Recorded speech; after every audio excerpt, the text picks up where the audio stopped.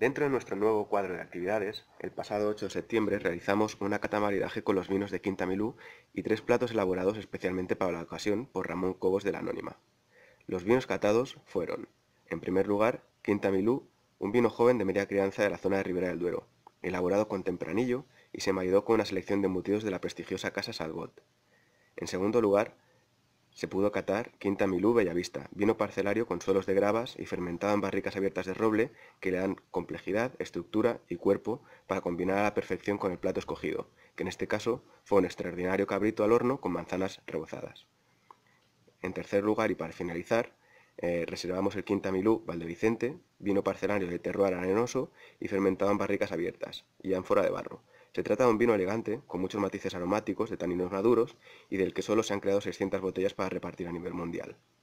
Ensambló a la perfección con una tabla de quesos de Betara, que son los más galardonados a nivel nacional, junto con mermeladas de cebolla e higos. Si no pudiste asistir, esperamos vernos el próximo jueves con platos diferentes y vinos excepcionales.